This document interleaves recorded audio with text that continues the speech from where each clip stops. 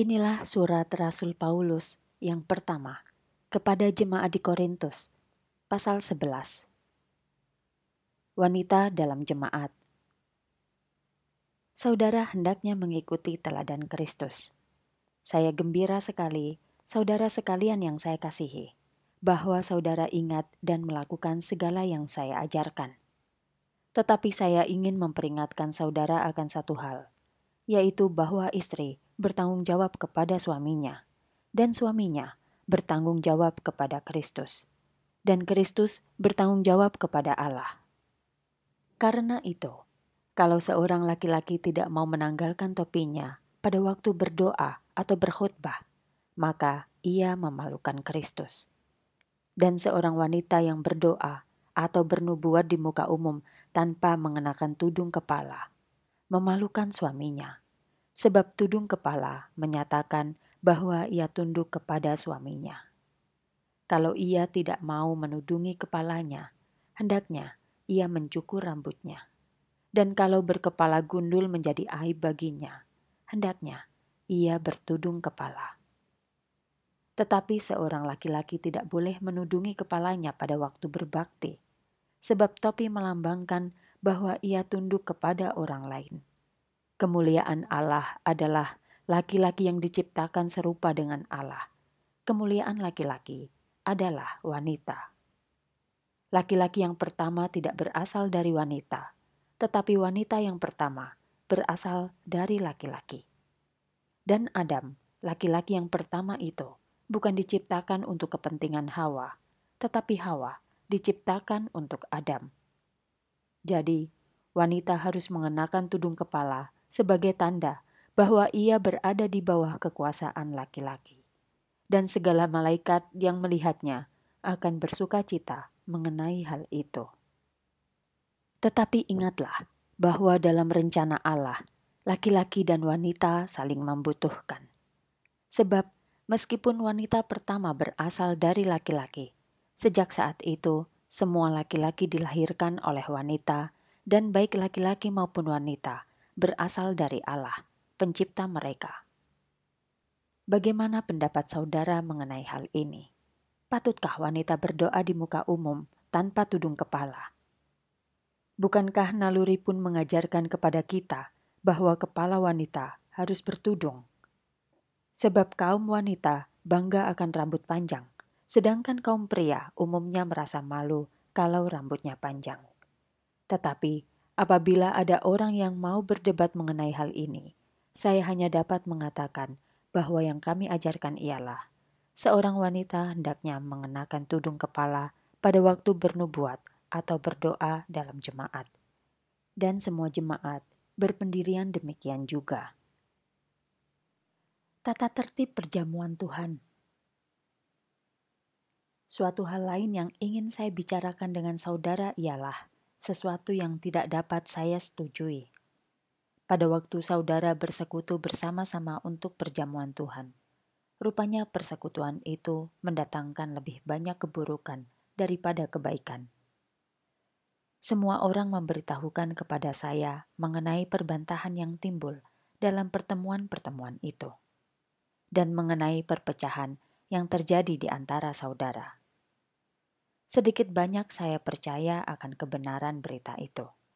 Tetapi saya kira saudara merasa bahwa hal itu perlu supaya saudara yang selalu benar, dikenal dan diakui. Pada waktu saudara berkumpul untuk makan, bukan perjamuan Tuhan yang saudara adakan, melainkan perjamuan sendiri. Sebab saya dengar bahwa setiap orang dengan lahap cepat-cepat menghabiskan makanan yang dapat diambilnya tanpa memperhatikan orang lain. Sehingga sebagian merasa lapar karena tidak mendapat cukup makanan, sedangkan sebagian lagi terlalu banyak minum dan menjadi mabuk. Wah, benarkah demikian? Tidak dapatkah saudara makan dan minum di rumah sendiri, sehingga tidak mengaibkan jemaat dan mempermalukan orang miskin yang tidak dapat membawa makanan? Apa yang harus saya katakan mengenai hal ini? Apakah saudara mengharapkan pujian dari saya? Sekali-kali saya tidak akan memuji saudara. Sebab inilah yang telah difirmankan oleh Tuhan sendiri mengenai perjamuannya dan yang pernah saya sampaikan kepada saudara, yaitu bahwa pada malam Tuhan Yesus dikhianati oleh Yudas, ia mengambil roti. Dan setelah ia mengucap syukur kepada Allah atas roti itu, ia memecah-mecahkannya dan memberikannya kepada murid-muridnya sambil berkata, Ambil dan makanlah roti ini. Inilah tubuhku yang kuserahkan untuk kalian. Lakukanlah ini sebagai peringatan akan daku. Sesudah makan, dengan cara yang sama, ia mengambil cawan anggur dan berkata, Cawan ini adalah perjanjian baru antara Allah dengan kalian yang telah diadakan dan dimeteraikan di dalam darahku. Lakukanlah ini sebagai peringatan akan daku setiap kali kalian meminumnya. Sebab setiap kali saudara makan roti ini dan minum dari cawan ini, saudara memberitakan kembali kematian Tuhan, bahwa ia telah mati bagi saudara. Lakukanlah ini sampai ia datang kembali. Jadi, apabila orang makan roti ini dan minum dari cawan Tuhan dengan cara yang tidak patut, maka ia berdosa terhadap tubuh dan darah Tuhan. Itulah sebabnya orang harus benar-benar memeriksa dirinya sebelum makan roti dan minum dari cawan itu. Sebab kalau ia makan roti dan minum dari cawan itu dengan cara yang tidak patut, tanpa memikirkan tubuh Kristus dan memahami artinya, ia mendatangkan hukuman Allah ke atas dirinya, sebab ia meremehkan kematian Kristus. Itulah sebabnya banyak di antara saudara lemah dan sakit. Bahkan ada beberapa orang yang mati. Tetapi, kalau saudara dengan teliti memeriksa diri sebelum makan, saudara tidak akan diadili dan dihukum.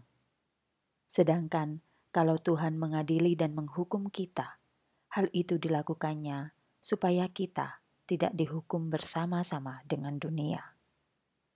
Karena itu, saudara sekalian yang saya kasihi, apabila saudara berkumpul untuk perjamuan Tuhan, hendaknya seorang menantikan yang lain.